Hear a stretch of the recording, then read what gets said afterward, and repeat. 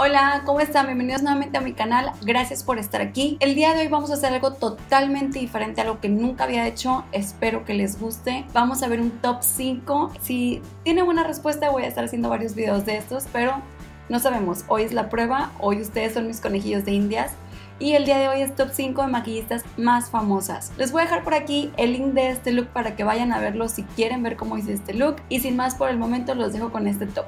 Y empezando con nuestro top 5, tenemos en el número 5 a Pat McGrath. Es de nacionalidad británica y nació en junio 11 del año 70. Ha sido llamada por Vogue la makeup artist con más influencia en el mundo. Pat diseñó los cosméticos de Armani en el año 1999 y en el 2004 fue llamada la diseñadora creativa global en donde estuvo a cargo de Max Factor, CoverGirl y otras marcas. En el 2013 fue nombrada miembro del Orden del Imperio Británico o MBE por sus siglas en inglés, por la reina Elizabeth II. La línea de Pat McGrath de cosméticos fue lanzada en el 2015, en octubre 29, y su primer producto fue llamado Gold 001, que contenía un pigmento dorado, una espátula, un líquido para mezclar y un contenedor, todo esto por 40 dólares. En el número 4 tenemos a Bobby Brown. Bobby Brown fue nacida en Chicago, Illinois, el 14 de abril del año 1957. En 1991 lanzó una línea de labiales bajo el nombre Bobby Brown Essentials, donde tenía 10 tonos naturales de labiales. En 1995, Estée Lauder compró la compañía de Bobby Brown y Bobby mantuvo el control creativo de todos los cosméticos que aquí creaban. En el 2007 se abrió una tienda menudeo de Bobby Brown en Nueva Jersey y actualmente cuenta con más de 30 tiendas por menudeo.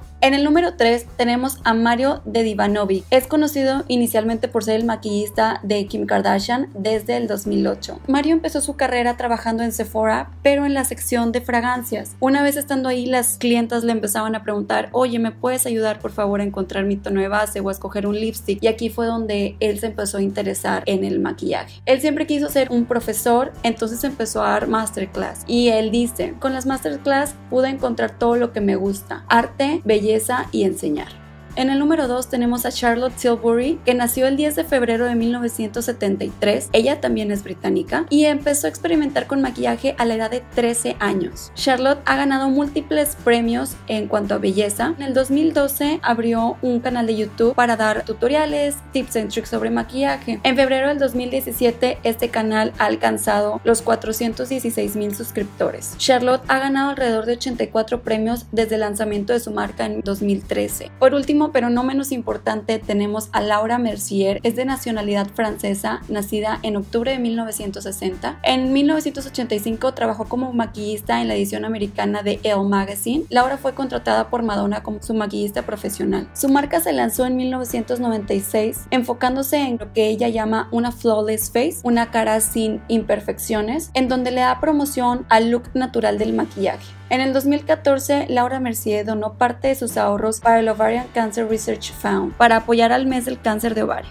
Eso fue todo por el video de hoy, espero que les haya gustado. Por favor pónganme en los comentarios si les gusta este tipo de videos para ver si agregamos esta sección a este canal. No olviden suscribirse a mi canal antes de que se vayan y seguirme en todas mis redes sociales como Liz Guajardo MUA, Liz Guajardo Moa en Facebook, Instagram y Twitter. Si les gustó este video, por favor denle un like, una manita arriba. En verdad, en verdad espero que les haya gustado. Nos vemos a la próxima. Bye bye.